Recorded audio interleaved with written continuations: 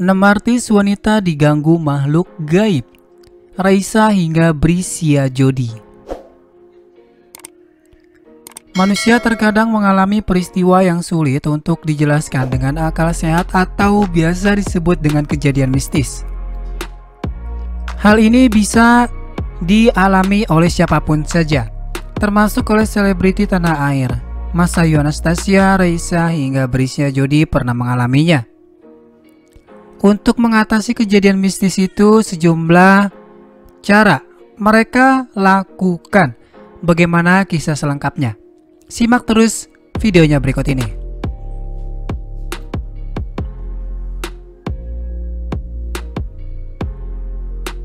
Masayu Anastasia pernah mengalami kejadian mistis di rumahnya beberapa tahun lalu. Ibu satu orang anak ini mengungkapkan bahwa dirinya mendengar suara-suara aneh. Kejadian mistis itu ia alami kala sedang beribadah malam hari untuk mengatasi gangguan yang diterima. Masayu mengungkapkan penangkalnya hanya satu yaitu dengan sholat. Pengalaman mistis juga pernah dirasakan oleh Dewi Persik alias DP. Dilansir dari YouTube, Star Pro istri Angga Wijaya ini mengaku tidak bisa tidur karena kakinya mengalami sakit yang luar biasa. Ini tuh aku setiap malam jam 12 ke atas kaki sebelah kiri betis kiri itu selalu kayak ditusuk-tusuk. Sini punggung kiri ditusuk-tusuk. Biasanya kalau linu-linu minum obat untuk melegakan otot, besoknya udah sehat. Ini mah enggak. Jelas Dewi Persik dalam video yang diunggah tanggal 13 November 2020. Sebelumnya pelantun hikayat cinta itu menerima boneka dari seseorang ketika boneka tersebut dikembalikan. Dia mengaku langsung sehat kembali. penyanyi jebolan ajang Indonesian Idol, Brisia Jodi, juga membuat geger kala dirinya bercerita tentang serangkaian pengalaman mistis yang dialami melalui Instagram story-nya. Kekasih Julian Jacob itu menemukan paku di kasur hingga tubuhnya yang lebam tanpa ada penyebab yang jelas.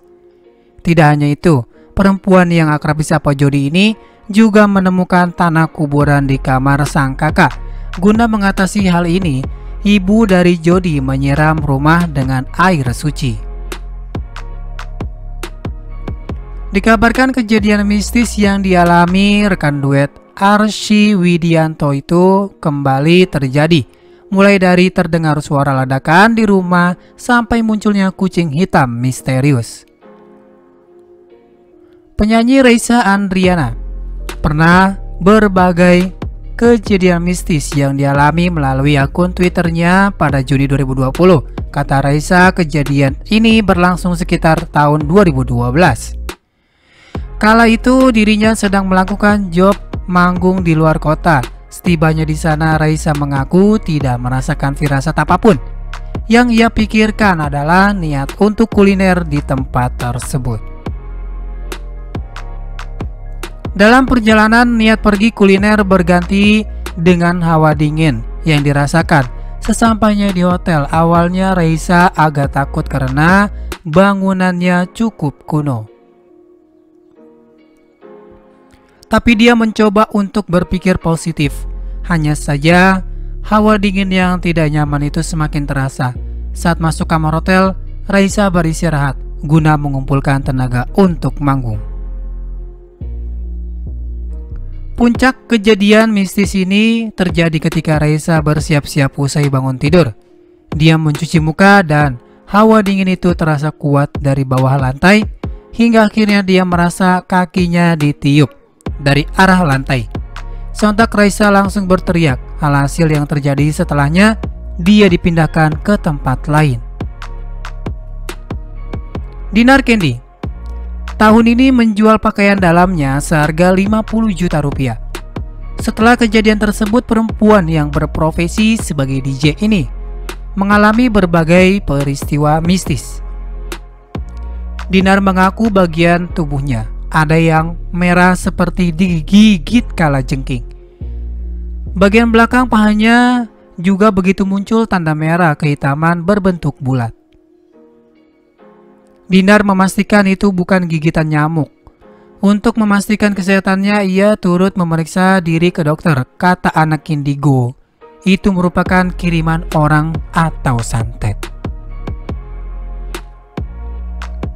Terakhir di daftar ini ada aktris sekaligus model Indah Kalalo. Dikutip intip seleb dari FIFA.co.id, Indah Kalalo mengalami kejadian mistis saat melakukan syuting film horor Kajeng Kliwon.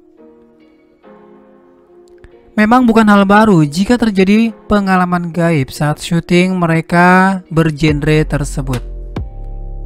Pada waktu syuting kami memang agak takut karena lokasinya benar-benar masih keramat dan jarang boleh dipakai. Misalnya Puri Gunung Kawi, katanya. Karena kejadian mistis yang dialami proses syuting sempat terhenti beberapa kali. Sebab ada saja yang kerasukan. Hal tersebut membuatnya was-was di awal syuting. Namun, ia berusaha untuk tetap tenang guna menampilkan hasil yang maksimal.